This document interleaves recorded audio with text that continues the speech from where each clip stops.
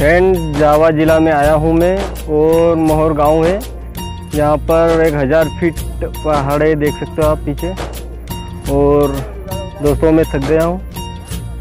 यहाँ पर देख सकते हो तालाब है बिल्कुल साफ़। और मेरे दोस्त तो पीछे खड़े हैं, जो यहाँ तक लेके आए मुझे ऊपर तक। और पीछे देख सकते हो, बहुत पहाड़ ऊँचा है यहाँ पर।